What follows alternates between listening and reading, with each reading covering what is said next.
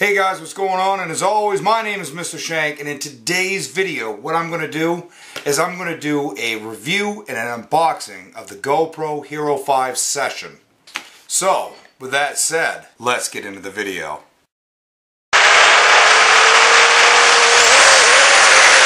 What's going on? And as always, my name is Mr. Shank, and today we have a really special video. Alright guys, so here, just as promised, here is the GoPro Hero 5 Session. Now, it comes in a cool little case. You get a see-through top to it, so you've got to kind of see what you're actually getting in this thing. Now, this shoots in 4K resolution, which is the highest resolution that we have to date uh, as of making this video. It tells you a little bit about what you're going to get in it. Now, um, we've already done the resolution, so it's also waterproof, and that's right out of the case. You know, as soon as you pull this out, it's ready to go at 33 feet or 10 meters. Now, I don't know a whole lot about meters, but I do know a hell of a lot about 33 feet, and I know it's pretty damn deep. So, the other thing that's pretty cool about this is that it's voice activated. You have voice controls. Um, you can basically tell it to record, to do time lapse, to take pictures. And uh, as you guys can see, let's just so you guys can see what they're indicating. On the other side, it also tells you what you're going to get in the box. Um, and you know what? We're going to open it up. See, you know, that's just useless. All right, so let's pull this bad boy out of the box here. All right, just like that. Okay, so this is the box that it's mounted to. And it's pretty cool because they give you this little uh, platform up here that you can use for your mounting bracket. So if you don't have like a tripod out there, it's always a good thing that you don't throw this away because if you don't have a tripod, you can actually use this like a tripod. Um, and with that out of the way, you know, let's crack open the box. See, ooh, crack open the box and see what you get. Okay, so the first thing we're gonna get is we're gonna get a warranty, which is that's fun.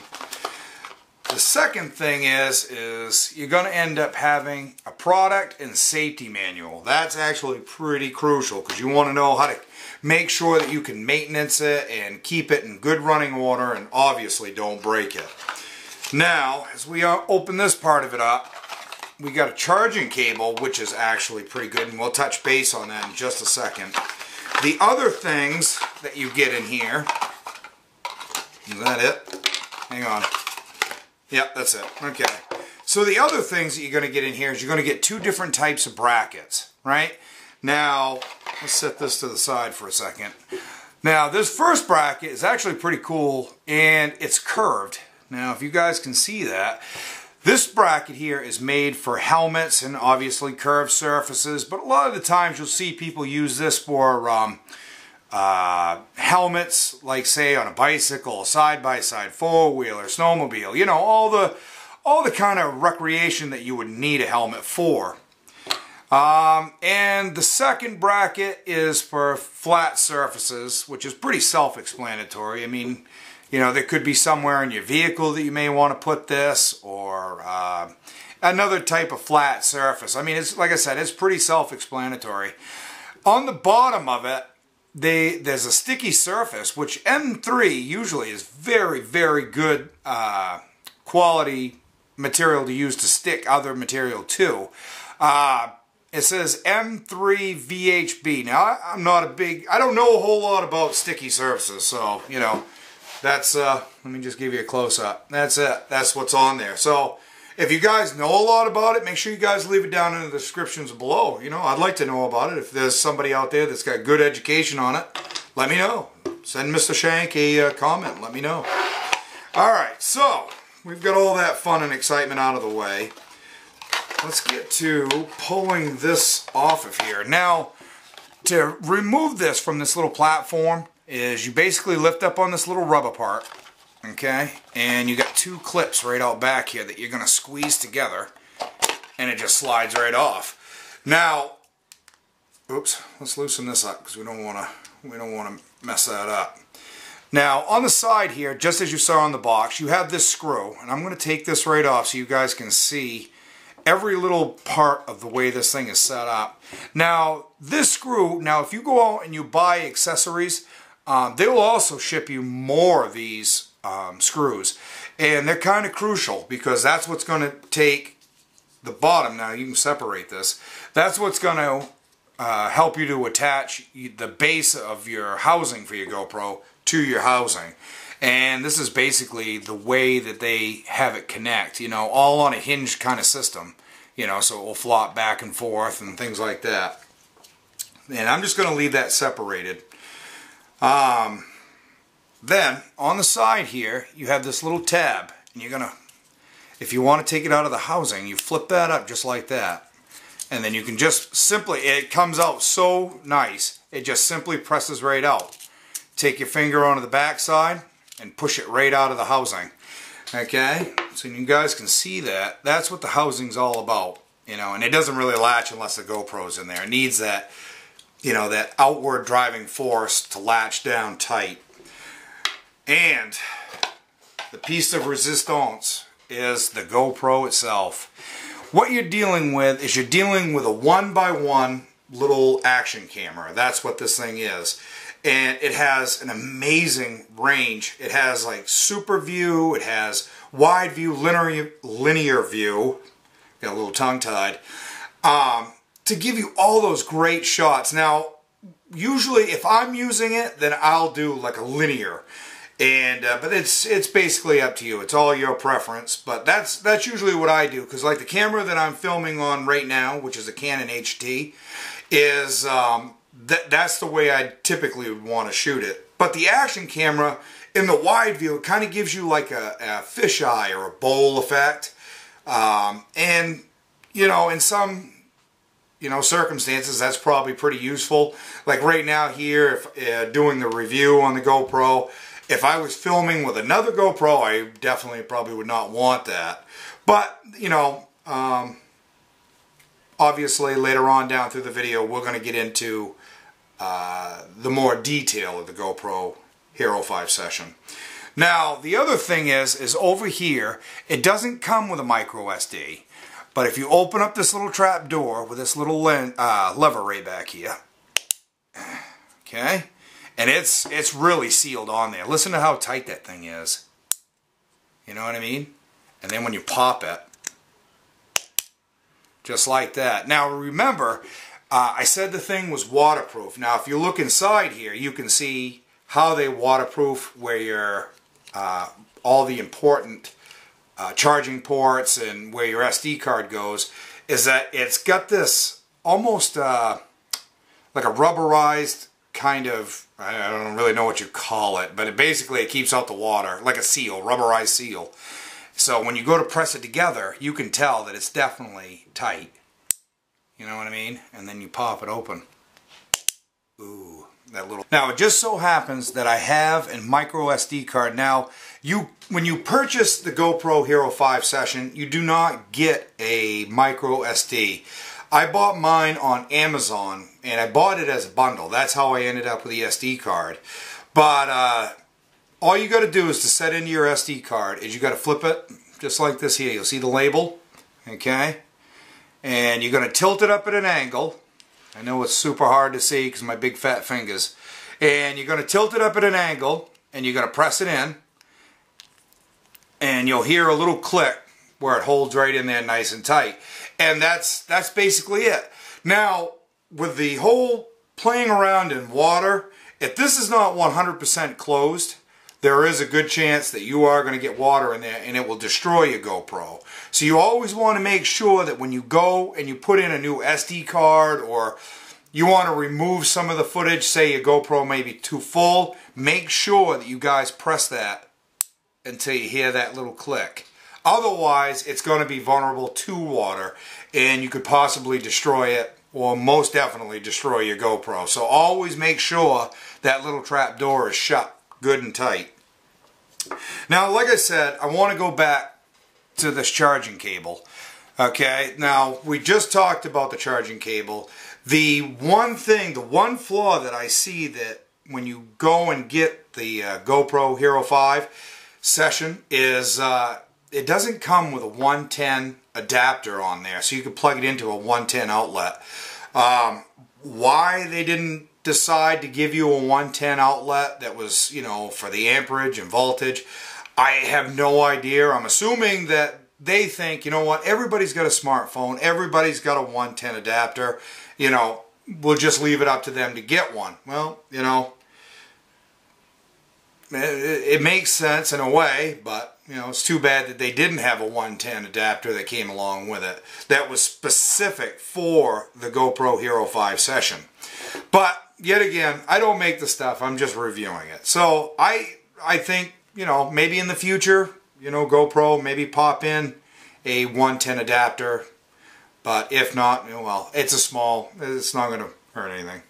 Okay guys, so before we move on, I think it's probably going to be pretty important that we talk about this housing as well. Because um, it, has a couple of features that are, you know, it's, it's pretty crucial. Now down here on your mounting bracket, you can, uh, most typically you're going to mount it just like this here.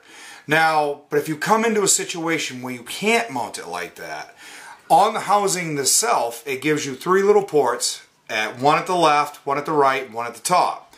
Now, if, say if you have to mount this you know, on the side. You know, you have to have your little mounting bracket hooked to a wall or something that doesn't allow you to have your record button at the top. Well, that's why this housing and the little features on it. You can take your GoPro out, and as you can see, there's your record button. Now, typically, you would have to leave it like this. Well, not the way the housing is designed. You can actually rotate this so your record button is now back on top, and then you can slide it back in, lock it in, and as you can see, you can mount it towards the left. Let me get my hands out of the way so you guys can see. And now your record button's at the top yet again. And you can mount it to a wall or any kind of surface that you may have to mount. Instead of uh, having something on a flat surface, it would be a flat surface, you know, vertical instead of horizontal. That's what I'm trying to say. So, yet again, you know, it's it's the same thing on the right side. You know, basically you could take it out and rotate it for this slot over here and you can have it mounted to another vertical surface with your mounting plate, you know, uh, on the side. So, yeah, I mean, like I said, it, it, doesn't sound like it's very important, but there was a lot of features in the housing that I thought maybe would be, you know, pretty crucial to throw into this video. Alright, so let's explain, or let's talk about the buttons that you receive. Now, this is a one by one action camera, okay? One inch by one inch. All right. Now it doesn't have a whole lot of buttons on here at all. There's only two. On the back, if you guys can see it, there's your menu button. And if you guys can make that out, there's an information and then there's a Wi-Fi. Now, uh, later down through the video, I'm going to show you how to operate that and the different things that it brings up in this little screen right here. Now, that's the only screen that you will have for this GoPro Hero Session 5. Now with the black, it's obviously a much wider unit and it has an LCD screen here and a readout towards the front where the Hero 5 session is, it, it doesn't have one. Um, on the top, you also have your record button. Now, as we go through the video, you'll see it where I show you how to use your menu button and then what the record button is to do to select that. So, I think we've covered about all the stuff that we can on this first half. Why don't we get into the more technical half of it? Okay, so right down here is your informational button and your Wi-Fi button. Now, if you press it, it will indicate right here on your little screen, 1080p. Now, if you press it again, it says to enter photo mode. Now, if you press this top button, it will enter that photo mode and you'll be able to take uh, pictures like with any other ordinary camera. Now, if you press the button again, you'll see that there's camera settings. And as you go in, it shows you right here, it shows you video. And then it shows you what you're shooting in, which is 1080p at 60 frames a second at linear. And if you press that select key, you'll see that you can go over and that's what you can click on this little check mark to indicate that's what you want. Now, moving right along, if you go, there's also the stabilization video. And that way, if you're on a bike or something like that and it's constantly being jostled around, it will help to stabilize it to an extent, you know. Okay, so the next thing that we have is we have the voice control. Now, you can say, you know, GoPro record, and it will record that. GoPro take a picture. Things like that, and that's what we were talking about. Well, as you can see right there, just took a picture.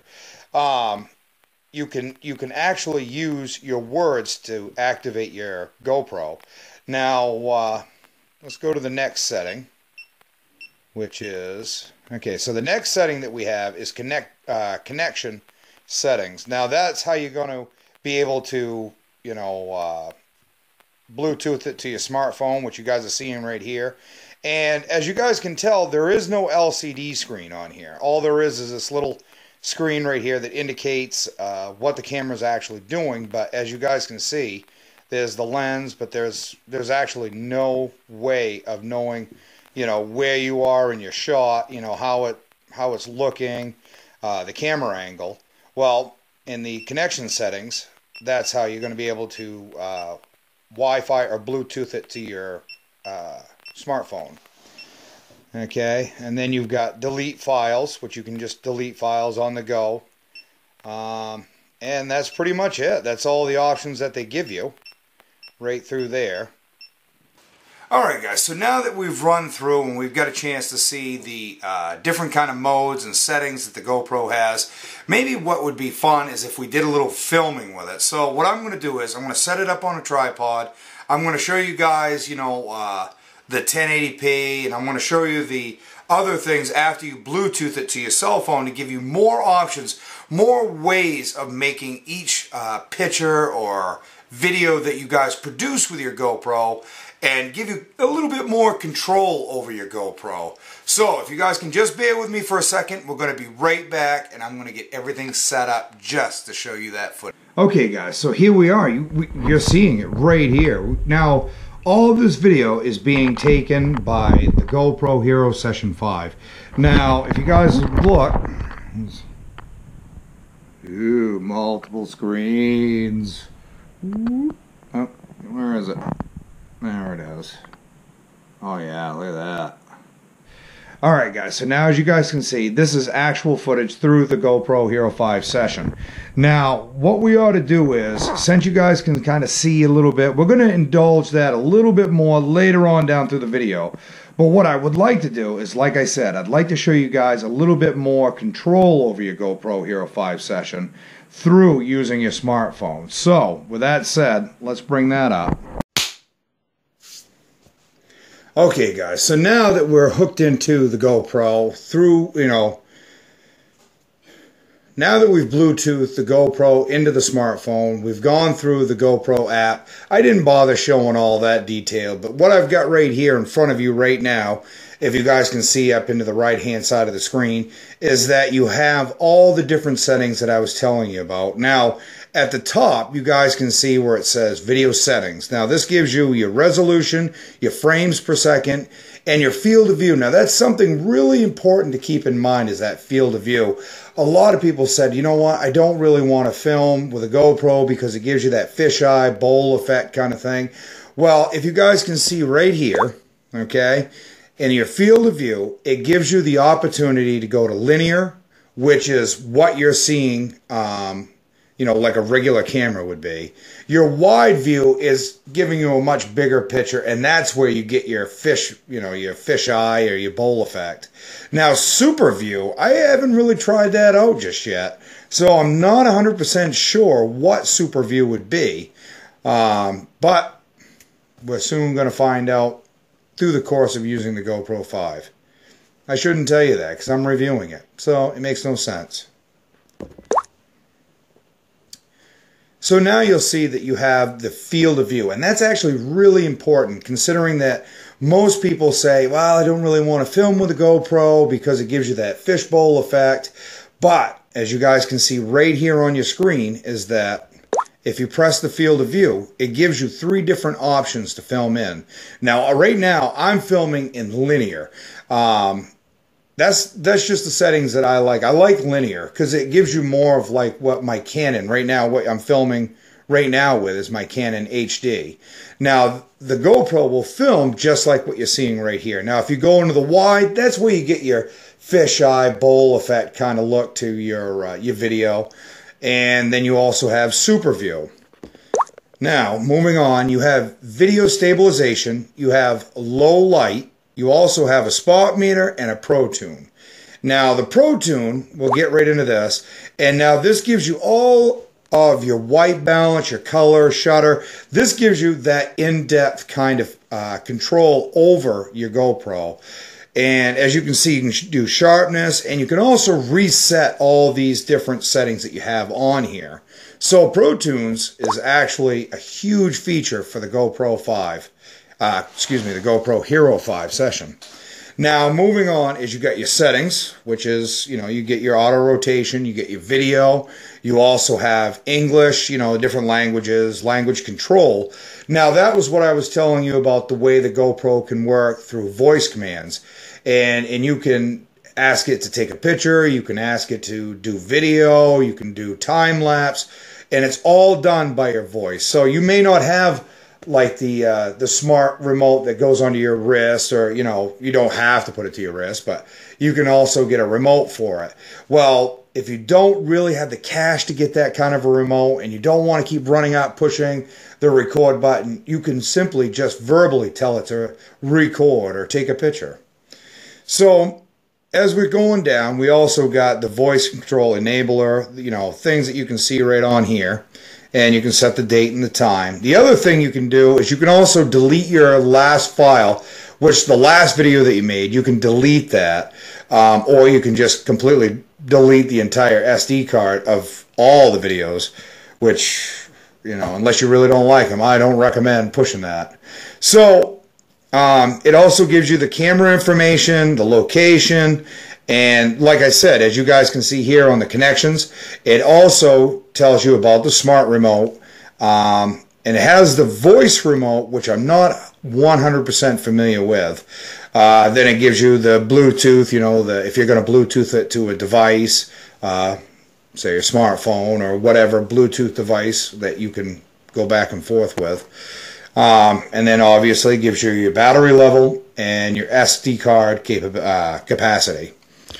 And that's pretty much what you get through that. Now, if we go back, this is what I was telling you about having the uh, capability of uh, having an LCD screen with your GoPro. Now, off to the side, over here, I know you guys can't see it, but that's the GoPro. That's what's recording. Now, um, everything you're seeing here is it gives you the 1080p, uh, 60 frames a second, uh, yeah, 60 frames a second, and it's in the linear. It shows you, you know, uh, the brightness and so on and so forth, as you guys can see. Now, down here at the lower left, it shows the recording. Now, it's not recording. I'm actually recording this through my cell phone. Um, and uh, it, as you record a video, it will tell you how long, or, you know, as it's progressing through the video. Um, now, you have the capability of switching between um, the video recorder, you know, or taking a picture. Now, in the video settings, you get the video, the video photo, or you can do a loop. Uh, the other setting is also your camera, which you can do photos, night, and, and a burst is like the same thing as, um, if you guys are not familiar, some people are not familiar with it, uh, it will take, you know, three shots, you know, back to back to back. Um, and then also, this is your time lapse right over here at the right side of this. Uh, you'll see time lapse video, time lapse photo, uh, night lapse photo, which I haven't really gotten a chance to experience what that is. So we'll have to dabble with that a little bit to see what that's all about. So down here at the lower right, you'll see right, right here, and we'll switch it back to video. Get over there. All right. So now that's back to video. Okay, so now down here at the lower left, you'll see this kind of Rubik's Cube kind of icon right down here. Now, if you press on that, it will give you all these different uh, videos that you have through here. Now, those are just a few of the videos that I had shot, kind of goofing around with it. Also, some of the video that I'm shooting right now. Now, it tells you over here at the right side, you have your Wi-Fi connection, your battery life, and then, of course, the little wrench down here is where we got into our settings, which is, uh, it's, everything is really laid out. It's very user-friendly. I like it. Now, up here at the right side, the upper right, you'll have where you can turn your camera off and on. Now that's kind of a big thing because if you're not in the middle of using it and you want to save that battery life, well, it's a good idea to make sure you, you turn off your GoPro um, because you can't remove the battery. Okay, so the other thing that I think that I made sure that I promised you is that I wanted to do the water test. What I find is so fascinating about it is that you don't have to buy a waterproof housing. You basically pull it out of the box and it is ready to go for 33 feet or 10 meters and uh, which is absolutely fascinating because sometimes waterproof housing can be kind of expensive you know uh, if you if you're living on a very tight budget and it's like oh you know most cameras you can't just go out and put it in the water and let's go you know but the GoPro Hero 5 session can so as promised I want to take it in I want to do that water test so you guys can check that out. I think you guys are going to love it. So let's get over to the tub and let's get this thing underwater. Now, if you guys can see, here I am with the GoPro and we're going to try to test out the waterproofing. Now, as you guys can see here, this is my LCD screen and you guys are going to be able to see from here and you guys are going to be able to see through the GoPro Hero 5 session. So, with that said, let's get this thing going. So we're going to set you guys right down here. Right like that. Okay. So as you guys can see here, there's the bathtub. Let me show you here. Okay. There it is right inside there. So we're going to put the plug in just like that. And let's try to do a mixture. Whoa. That's going to be nice. don't want it too hot. Okay, as of right now, it's working out good.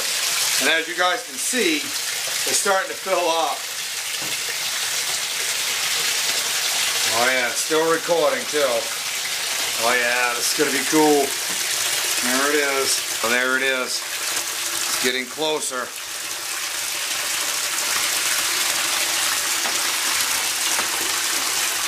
Okay. Oh, you guys are going to be Okay, now it's fully submerged under, underneath that water. It's fully submerged. And it's still running strong. Right now we're two minutes into it. Still running strong. So, right now we've got plenty of water in there. So let's turn off the water so you guys can see something without a bunch of bubbles. Alright, so if you guys look down at the left side of your screen, you're going to see the same thing I am through uh, my smartphone. Is now you can see it, it's fully submerged. There's my fingers. Whee! There's my fingers. Now, let's move it around and see if you guys can see me. Okay, there I am. You guys are right underwater. Okay.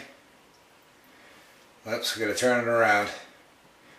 Alright, so there you guys are. You guys can see me now. Okay, here we go. And we're going to try to go slowly. Oh yeah. And now you guys are back underneath the water. That's awesome. That is so cool. Uh, I know the tub isn't all that exciting, but the idea of it is, is you know, to show off the waterproof. Um, we're probably in a maximum of maybe an inch and a half worth of water. Now the box says it's good up to 33 feet and this is kind of like a small little demonstration to just show about the waterproofing. Alright guys, so that's pretty much going to do it for me today. Hopefully you guys really enjoyed this video. If you guys did, can you make sure you go down and hit that like button? It really helps me out, helps this channel out. Also, Make sure you guys head down and hit that subscribe button if you'd like to stay up to date with all my new videos. Hit the, uh, the little bell icon. That will be the notifications to let you guys know when I do upload a new video. Uh, you guys can also follow me on Facebook, Instagram, and Twitter. Um, and that's pretty much going to do it for me. So, I can't wait to see you guys in the next video.